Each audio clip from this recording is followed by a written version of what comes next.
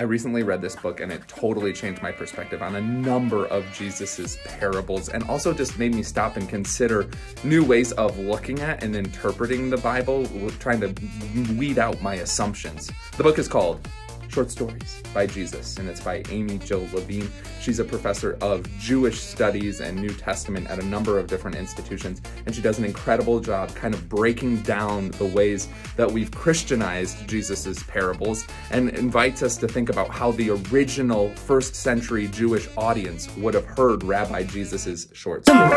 So check it out.